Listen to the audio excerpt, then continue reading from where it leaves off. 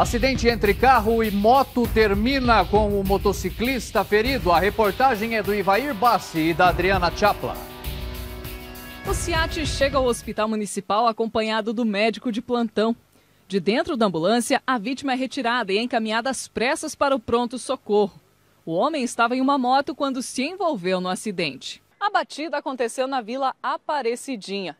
A moto tentou fazer uma conversão quando acabou sendo atingida pelo carro. Ainda de acordo com o SIAT, o piloto ficou prensado entre o automóvel e a motocicleta.